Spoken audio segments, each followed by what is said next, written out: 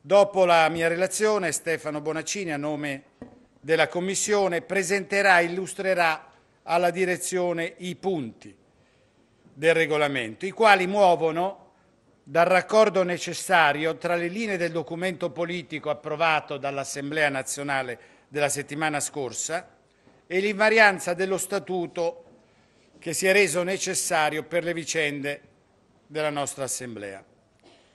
E io credo che dentro questa impostazione, anche nella discussione di oggi, troveremo anche la modalità per risolvere in maniera corretta il problema del rapporto tra il candidato segretario e il candidato alla leadership del governo del Paese.